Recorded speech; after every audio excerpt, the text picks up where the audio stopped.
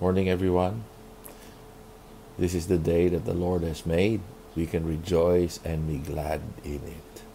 Thank you for joining us again for this time of prayer, worship, and the Word.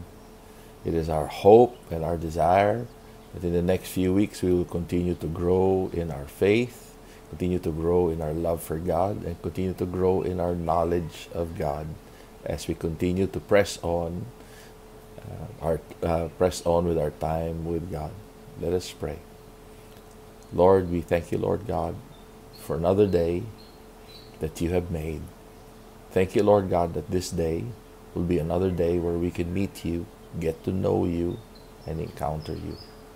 Thank you, Lord God, that even as the these uncomfortable, difficult days that pass one day at a time is also a day where you meet us, where you do things in our hearts, in our lives, and things around us, Lord. We continue to trust that your will shall be done. We continue to trust that your will be your will will be done on earth as it is in heaven.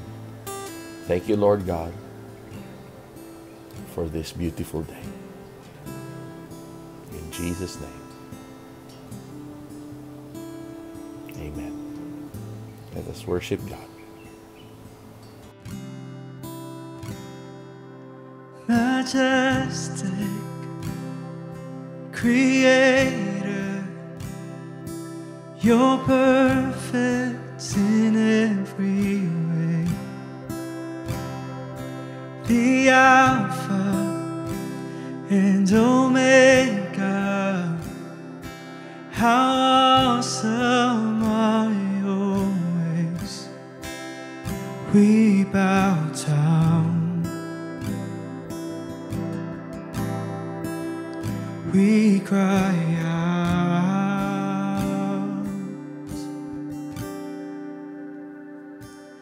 Life giver, Redeemer,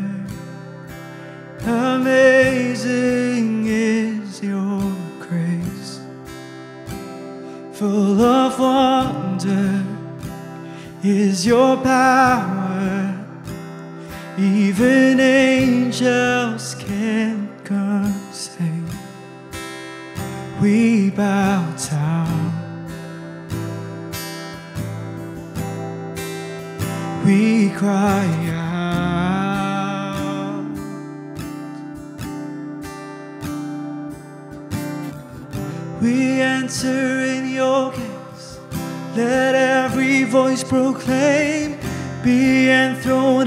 this place. You are worthy. All heaven shouts your name. Creation sings your praise. Great is the King of Kings. You are holy.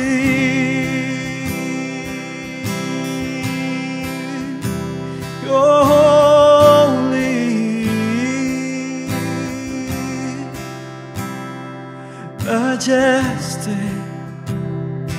Creator you're perfect in every way. The alpha and omega how awesome are your ways? We bow down. Oh, and we cry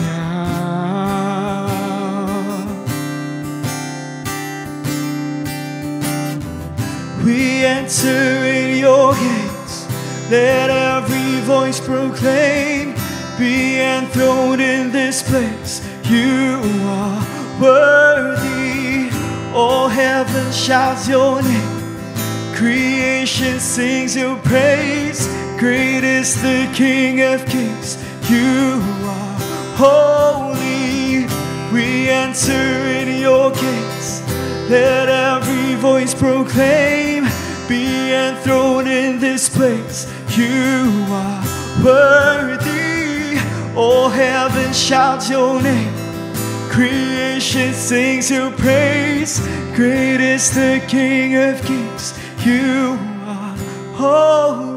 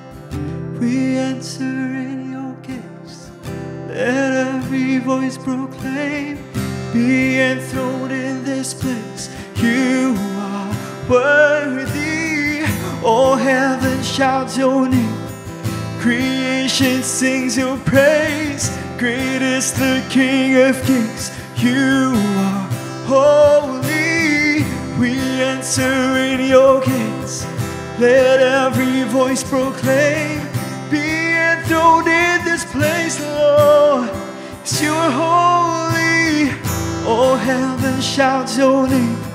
Creation sings your praise. Greatest the King of kings. You are holy.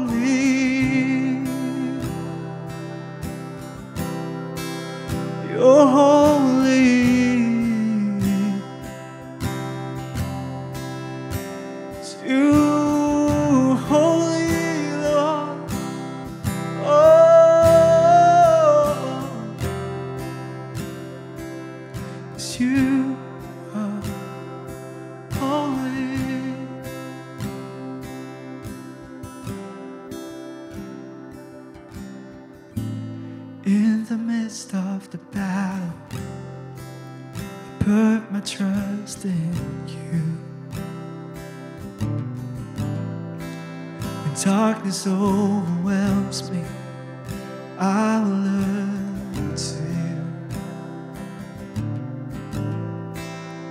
Enemies surround me, sorrow fills my heart. Your gentle voice reminds me I'll never be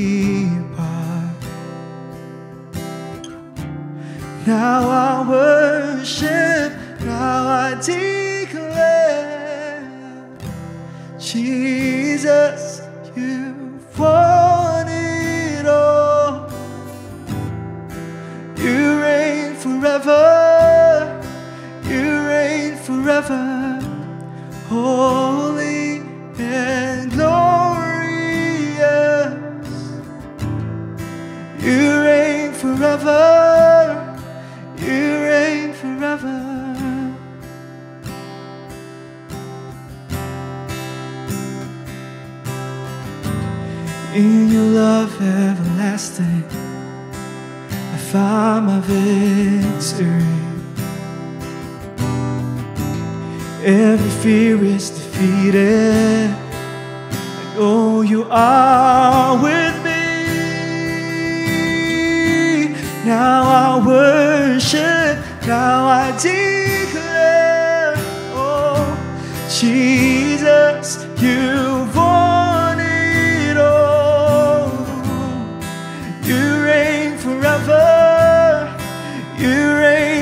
forever. Oh,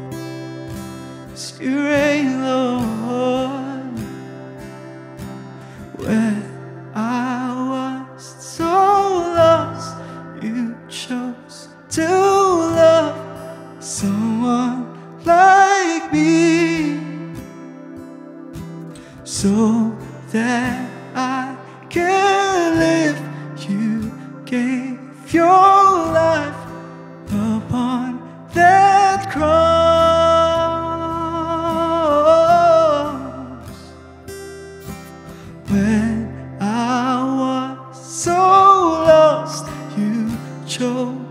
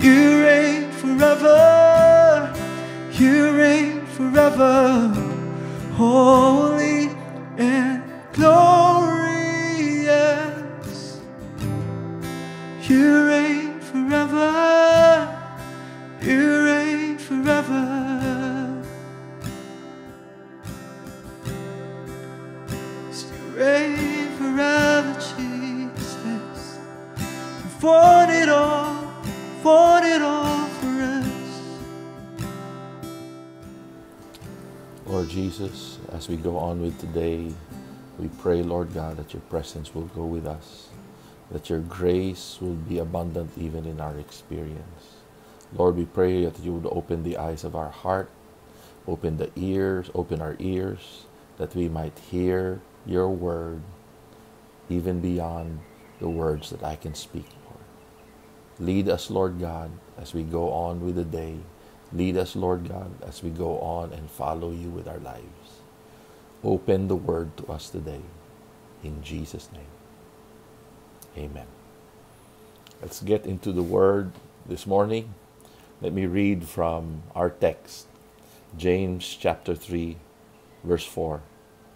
It says, Look at the ships also, though they are so large and are driven by strong winds, they are guided by a very small rudder, wherever the will of the pilot directs. So also the tongue is a small member, yet it boasts of great things. How great a forest is set ablaze by such a small fire. And the tongue is a fire, a world of unrighteousness. The tongue is set among our members, staining the whole body, setting on fire the entire course of our life, and set on fire by hell. For every kind of beast and bird and of reptile and sea creature can be tamed and has been tamed by mankind. But no human being can tame the tongue. It is a restless evil, full of deadly poison. With it we bless our Lord and Father, and with it we curse people who are made in the likeness of God. From the same mouth come blessing and cursing. My brothers, these things ought not to be so. Does a spring pour forth from the same opening both fresh and salt water? Can a fig tree, my brothers, bear olives, or a grapevine produce figs? Neither can a salt pond yield fresh water. A few years ago, my brother took my family to an island off the of Negros. It was called Lakawon. During that time, it wasn't very uh, very developed uh, at that uh, uh, at that time. So we had to take a small motorized banca to cross to the island. It was a short trip, probably around 20 minutes. You could practically see the island clearly from uh, standing on the beach on the mainland. And since it was a very nice day, uh, very calm, we practically took a, almost a straight line from the beach, from the mainland, all the way to the island. We enjoyed the day there. Uh, my, my brother let us use this jet ski, so my kids had fun. And by the afternoon, we were about to go back to uh, back home. But while we were getting ready to go back home, a squall came, strong rains and strong winds. So we had to wait for this uh, squall to end. So it took us about uh, about half an hour of just waiting, uh, letting the rains pass and letting the strong winds pass. And we, uh, as soon as it was done, as soon as it was, as it was clear, we started to board uh, the uh, the boat back to the mainland. But this time, because of the squall, the waves were, were quite large.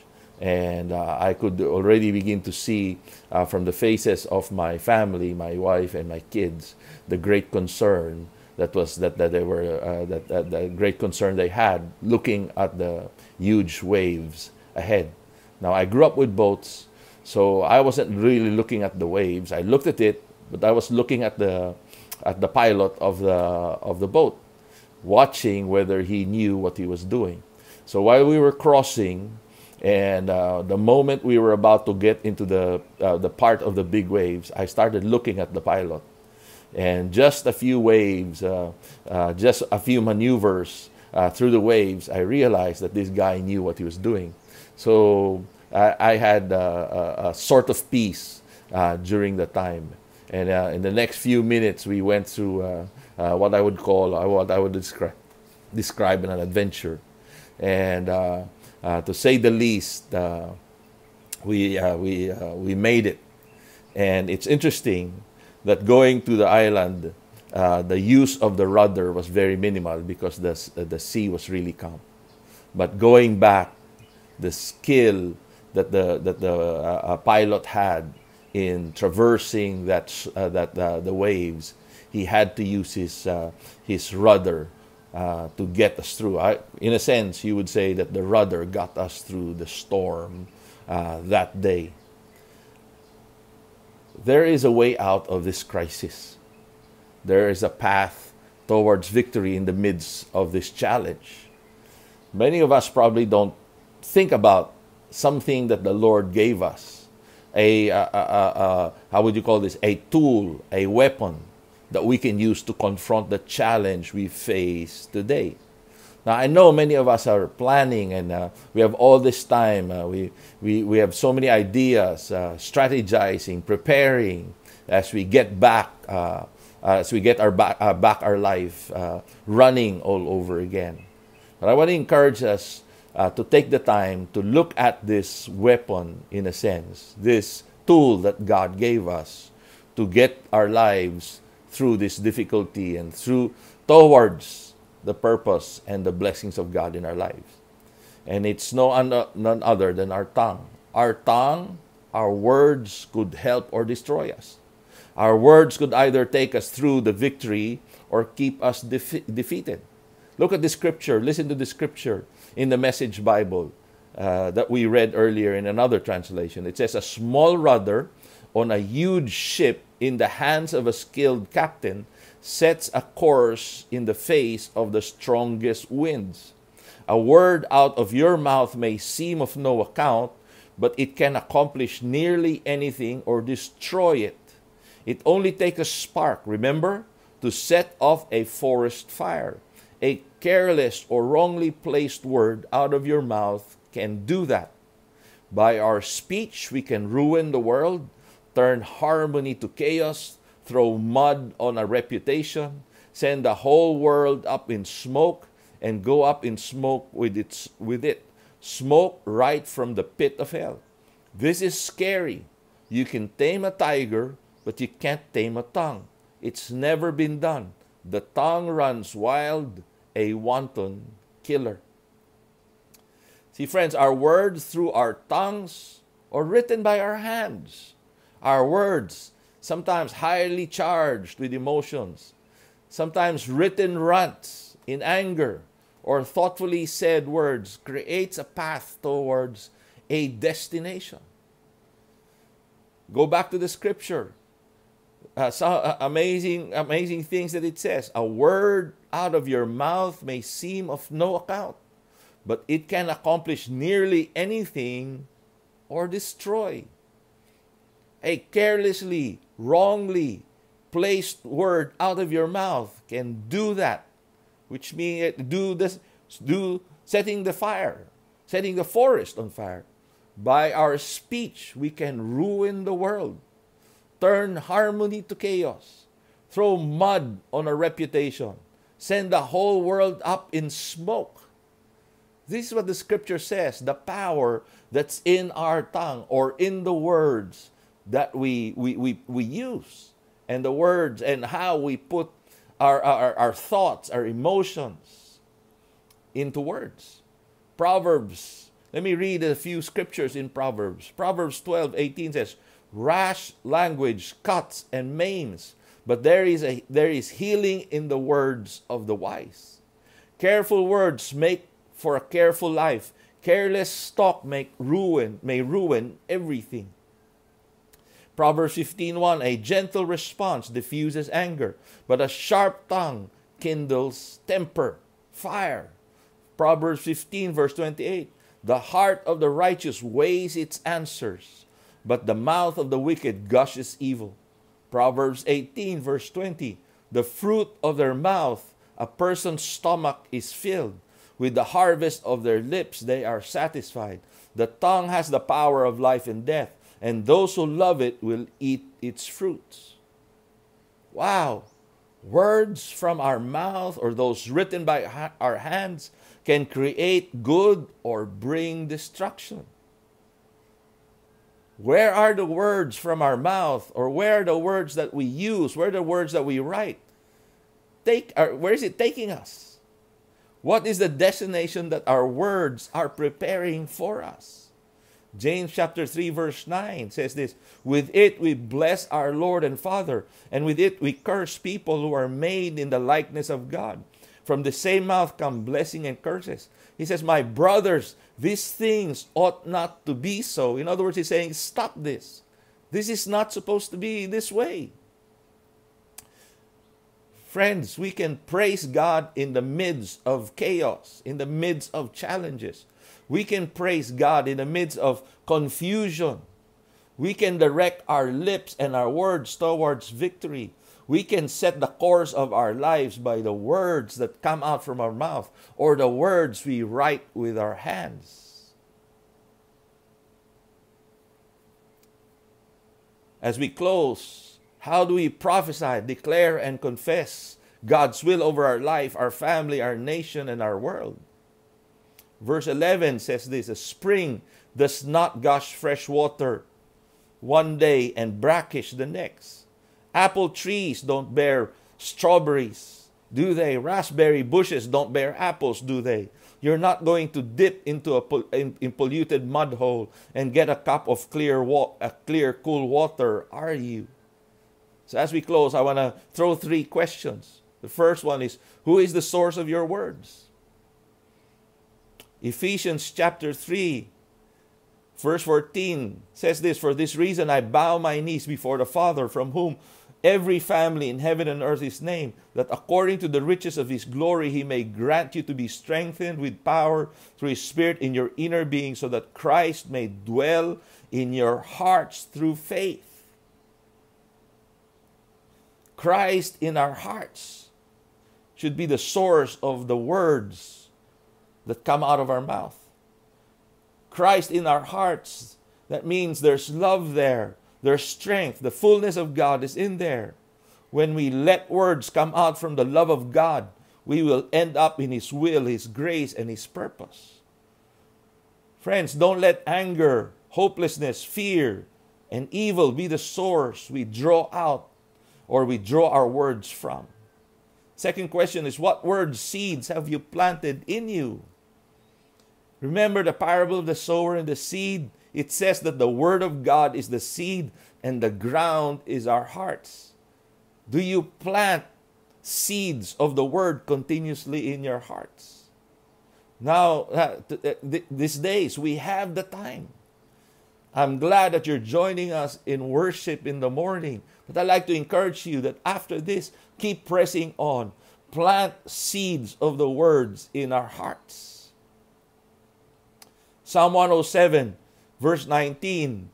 They were the, the psalmist was crying out. He says, They cried out to the Lord in their trouble, and he delivered them from their distress.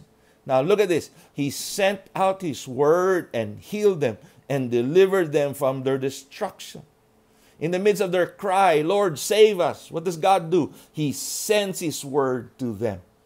He sends His word to them. And that word, as they embraced it, as they, as they declared it, it delivered them from destruction. A question we need to, uh, uh, uh, to ask in the same, uh, together with this, is the question what does the Word of God say about my situation today? Friends, look for that word. Plant it in your heart. Plant it more and more in your heart until it springs out in words that come out of your mouth or written by your hands. 2 Corinthians chapter 1 verse 20 says this for no matter how many promises God has made they are yes in Christ. Also, through him, the Amen is spoken by us to the glory of God. What is God's promise for your situation today? Again, look for it, plant it in your heart, and let it come out of your mouth. Plant seeds of God's word in our, in our hearts, more of it, more of it, until it springs out of our mouths. Last question Are your words going the right direction?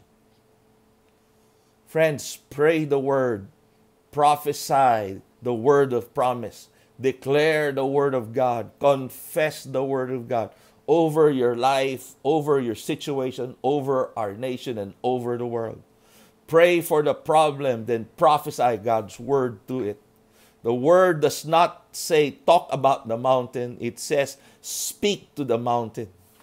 Glance at the problem, then focus on the promise of God. Stop exploring the power of the problem. Instead, believe in the gospel, the power of God to them that believe. Don't put, don't put your fear into words. Instead, confess your words of faith. Declare your words of faith. Express your words of faith. Stop telling you, stop telling yourself this crisis will change your life. Instead, declare the will of God that it will be established on earth as it is in heavens. Are your words taking you out of this crisis? Let your words proclaim the grace of God and your faith in Him. Lord, we thank you that you have given us your word, not just to read, but to prophesy and declare. Lord, we pray, Lord God, that we, as we spend time in your word, let the words that come into our hearts be expressed and confessed with our mouths. As we express our faith in words, we trust that just like a small rudder, the word, your words in our mouth, will take us past these storms and these trials we're facing. In Jesus' name, amen. Let's worship God again. Jesus, you want it all. You reign forever. You reign forever. Holy and glorious. You reign forever. You reign forever. Jesus,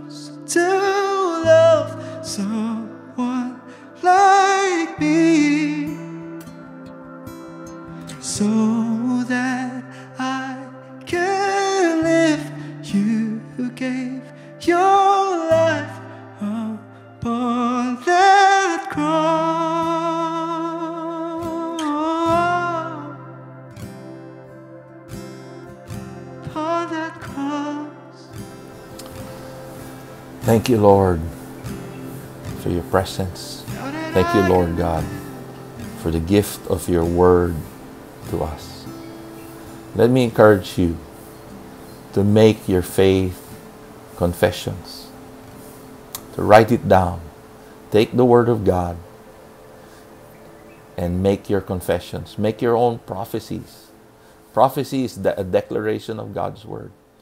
And you have a whole uh, uh, thousands of pages of prophecies from God which you can take and make it your own as you confess and prophesy the word of God to your life. Lord, I pray, Lord God, that you would continue to be with us. Lord, that you would continue to open our eyes to the truth of your word, that you would continue to stir up a desire and a hunger and a passion for your word. Lord, that you would continue to speak to us as we read your word. That we would uh, allow us, Lord God, uh, Lord, that you would give us the, the desire and ability, Lord God, to, to, to, to continue to put your word in our hearts, more and more of it, Lord God, until it changes the way we see things, until it changes uh, uh, uh, uh the, the way we, what we believe, until it changes the truth that we live with and that we live for. Now, let me read this scripture and bless you as we go. The Lord bless you and keep you. The Lord make his face shine upon you and be gracious to you. The Lord turn his face toward you and give you peace. God bless you. See you again next time. May you have a blessed day. May you have a blessed life. May the word of God's truth be established in your life. Amen.